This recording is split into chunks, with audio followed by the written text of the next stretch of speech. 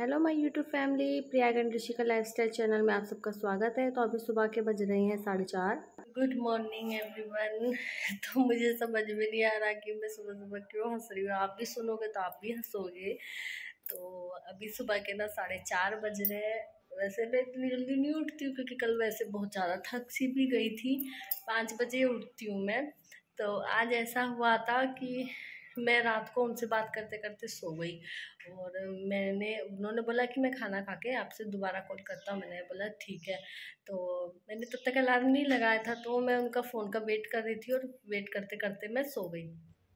मुझे बारह बजे थोड़ी सी ठंड सी लगी तो मैंने बेडशीट लेने के लिए उठी तो फिर मैंने तब अलार्म लगाया। मैं कहा, अब तो क्या फ़ोन करूँगी? उनका भी नहीं आया। तो वो सो गए होंगे। तो मैंने अलार्म लगाया और नींदों में थी तो मुझे तो ध्यान नहीं और मैंने पाँच बजे की जगह चार बजे लगा दिया। और फिर मैं थोड़ा साढ़े चार का भी मतलब जैसे पाँच, साढ़े पाँच का लगाती हूँ तो वही सेम प्रोसेस मैंने आज चार, साढ़े चार का कर दिया। तो एक बार बजा फिर मैं बंद करके थोड़ा लेट गई। फिर बजा, फिर मैंने पानी पिया। फिर मैं कहा, अब तो तीसरा बजने वाला है। तो मैं उठ गई। उठ के भी मैंने फ़ोन नहीं देखा। और मैं वही सेम प्रोसेस किया। मैंने अपना भगवान जी को पूजा वूजा की प्रणाम किया सुबह उठ के और कुला करके। तो अभी मैं भगवान जी के यहाँ लगा रही हूँ झाड़ू। मैं जब भी घर पे काम शुरू करती हूँ ना तो सबसे पहले भगवान जी के यहीं से शुरू करती हूँ। तो यहाँ पे मैं भगवान जी के पहले झाड़ू लगा देती हूँ और फिर पोछा लगाती हूँ, फिर बाकी सारे घर में पोछा लगाती हूँ। तो यहाँ पे मैं सबसे पहले झाड़ू लगा देती हूँ, पोछा लगाऊँगी, फिर मैं और बस बाहर का रूम रह जाता है, उसको मैं बाद में कर लेती हूँ। फिर अभी इतनी जल्दी सुबह होकर भी मैं सारा काम फ्री करके भी क्या कर सकती हूँ? पूरा दिन ना फिर मेरे को काटना भारी हो जाता है, मैं बहुत बोर हो जाती हूँ।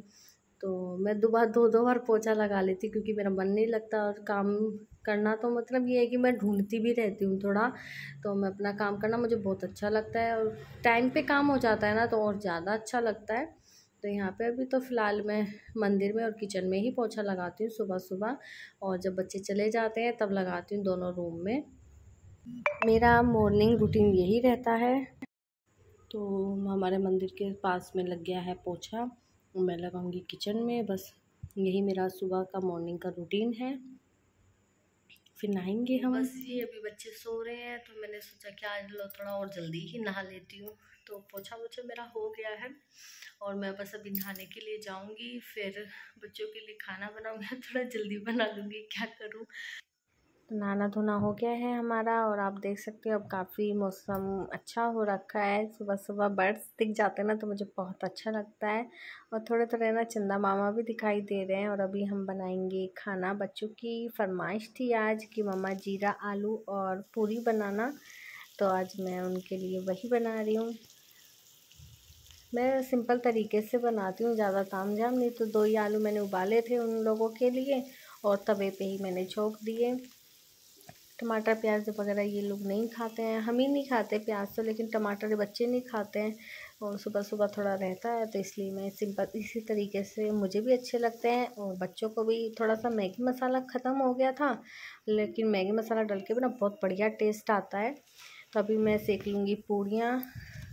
तो आज का लंच हमारा यही है सिंपल सा और मैं इसको कर लेती हूँ बच्चों के टिफ़िन में पैक। और यहाँ मैं सब्ज़ियाँ डाल देती हूँ। सब्ज़ी भी बन गई है, हमारी तैयार हो गई है। थोड़े से मैंने खीरे के स्लाइसेस रखे हैं। तो बच्चे जा रहे हैं स्कूल। आज इनकी जिद थी कि हम लोग खुद बैग टांग के जाएँगे।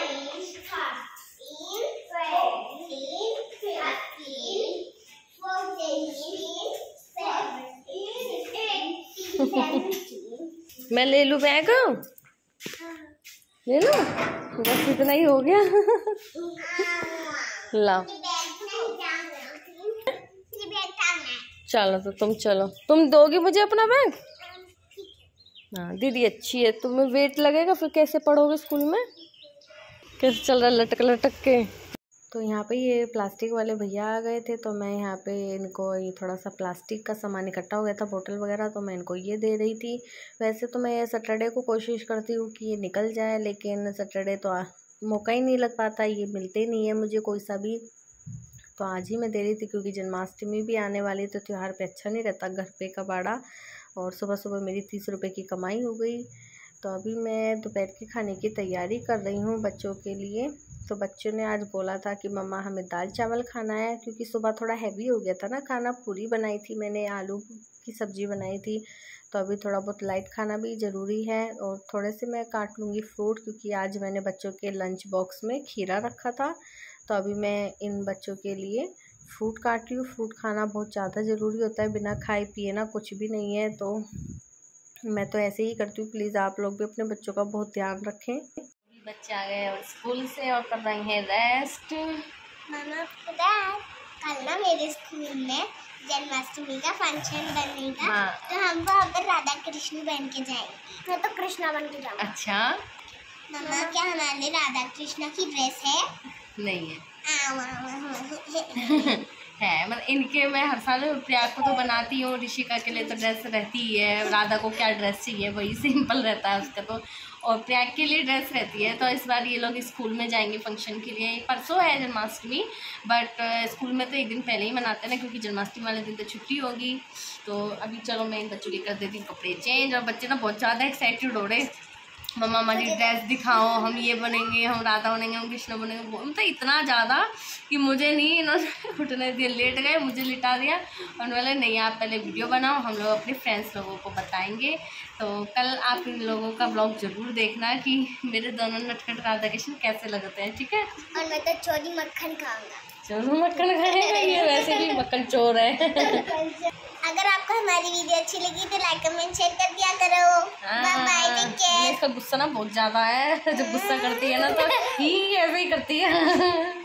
तो हमारा दोपहर का लंच हो गया है तैयार। इधर हमारे चावल भी बन रहे हैं और थोड़ी सी दाल मैंने बचा के रख ली थी बच्चों के लिए पकौड़ी बना लूँगी।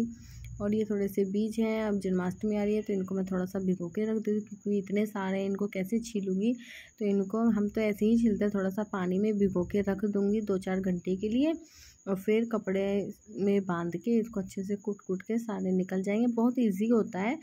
तो आप भी एक बार इसको इस तरीके से ज़रूर ट्राई करना, मैं अभी आपको दिखाऊँगी वो तरीका भी। तो यहाँ पे हमारे चावल भी बनके तैयार हो गए हैं, मैंने प्लेन चावल बनाए हैं यहाँ पे।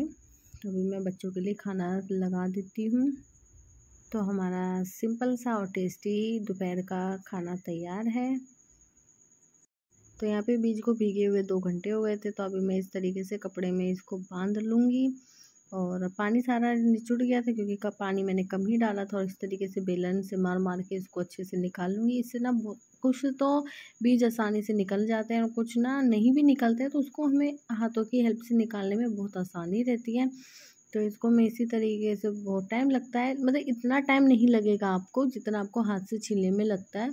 तो पूजा पाठ में तो आप मुँह से भी नहीं छील सकते हो तो आप ये ट्रिक यूज़ कर सकते हो। और आप देख सकते हो, काफ़ी बीज निकल भी गए हैं, उनको हाथ से भी निकालना कितना ईजी हो रहा है। तो यहाँ पे मैं बच्चों का बैग पैक कर रही हूँ तो मैंने यहाँ बच्चों के खाने पीने की चीज़ें रख ली हैं और उनकी नोटबुक पेंसिल बॉक्स भी रख लिया है। पूजा को थोड़ा काम है टाइम लगेगा। अगर पूजा को कोई काम होता है तो मैं करती हूँ उसकी हेल्प और मुझे कोई काम होता है तो पूजा मेरी हेल्प करती है। तो ऐसे ही हमारा चलता रहता है। तो अभी हम जा रहे हैं बाहर। तो आज देखिए मैं और ऋषिका ने बिल्कुल सेम आउटफिट डाला हुआ है। मेरे इस कुर्ते में से ना कपड़ा बच गया था तो मैंने इसके लिए भी सिलवा लिया। देखो ये इसने पहले भी पहना हुआ है लेकिन आज हम दोनों माँ बेटी ने पहना। है पहले भी। तो हम दोनों ने आज सेम सेम पहना है। तो अभी मैं लगा देती हूँ लॉक फिर चलते हैं मार्केट बाहर। और देखिए यहाँ हम लोग पहुँच गए हैं। और बच्चों को यहाँ आते ही लग गई भूख तो अभी ये गुआवा खा रहे हैं। बहुत टाइम हो जाता है बच्चों को बैठे बैठे तो यहाँ पर बच्चे अपनी पढ़ाई भी कर रहे हैं क्योंकि यहाँ पे टाइम लगना था, इसलिए और घर जाके बच्चे नहीं कर पाते तो यहाँ पे इतनी देर ये लोग बोर हो जाते तो इसलिए मैं सारा इनका पोटरा बाँध के लाती हूँ। तो लगे तो इनका होमवर्क भी हो गया, ये पढ़ाई भी कर लेंगे अपनी। पढ़ाई लिखाई से लेके मैं कोई कॉम्प्रोमाइज़ नहीं करती हूँ, और ना ही मैं कुछ खाने पीने के मामले में कॉम्प्रोमाइज़ करती हूँ। तो अभी बच्चे अपना थोड़ा सा स्नैक्स चल रहा है फ्रूटी पी रहे हैं। ये सारा मैं घर से ही लेके आई थी और लगे हाथ में भी बच्चों के साथ इंजॉय कर रही थी। बैठी बैठी मैं भी बोर ही हो रही थी, मैं ही क्या करती? क्योंकि मुझे तो अपना कुछ कराना नहीं था। और फ्रेंड मेरी चाबी ना पता नहीं कहाँ खो गई है, गिर गई, पता नहीं क्या हुआ तो इसलिए मुझे हथौड़ी से तोड़ना पड़ रहा है, बहुत मुश्किल हो रहा है। और हमसे लॉक नहीं खुल रहा है, पता नहीं कहाँ चाबी गिर गई है बड़ा दिमाग ख़राब हो रहा है। किचन का सब जगह का लॉक लगा हुआ है।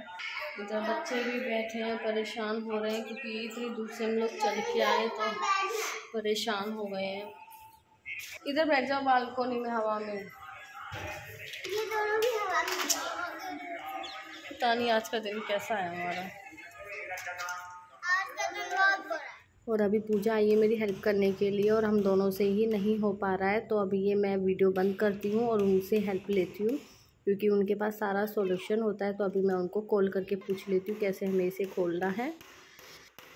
तो भाई, हमारी हो गई हालत ख़राब फाइनली खुल गया ताला। और उनसे वीडियो कॉलिंग कर ली थी, उन्होंने बहुत हेल्प करी, बड़े परेशान हो गए सच्ची में। आज तो एक बार को ऐसा ही लगा कि हम घर के बाहर ही रहेंगे। अभी क्या? क्या?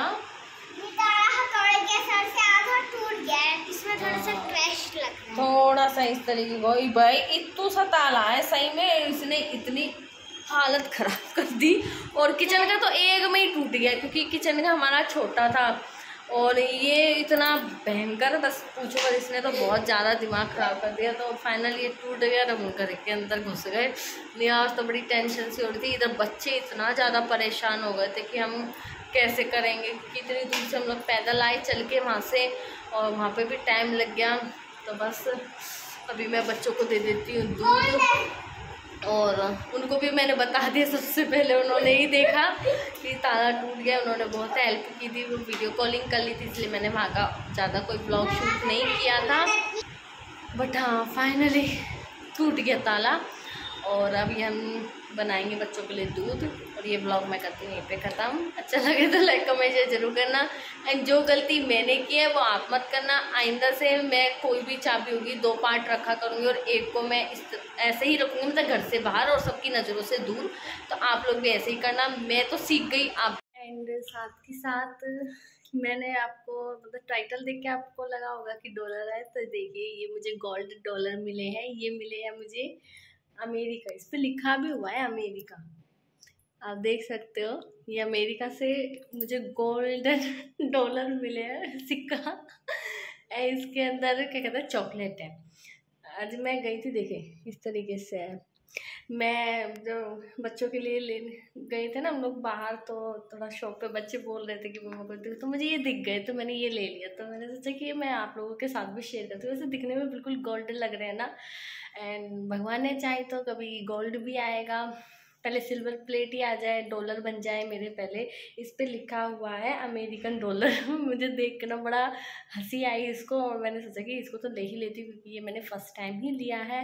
और बच्चे भी खुश हो जाएँगे। इसके अंदर ना चॉकलेट निकलती मैंने पूछा था उन भैया से तो ये अभी तो मैं दूँगी नहीं बच्चों को, कल दूँगी क्योंकि शाम हो रही है ना, शाम को हम चॉकलेट नहीं देते हैं। तो भगवान ने चाहा और आप लोगों ने सपोर्ट किया तो इस तरीके के मेरे को सच्ची में मिल जाएँगे। तो बस ये ब्लॉग मैं करती हूँ, यहीं पे ख़त्म। आपको ये ब्लॉग कैसा लगा मुझे कमेंट करके ज़रूर बताना। है एंड इस तरीके के अमेरिकन डॉलर जिसको भी चाहिए, वो मेरे पास आ जाए, मैं दिलवा दूँगी। ओनली पाँच पाँच रुपये में मिले मुझे ये बस, पाँच रुपये में।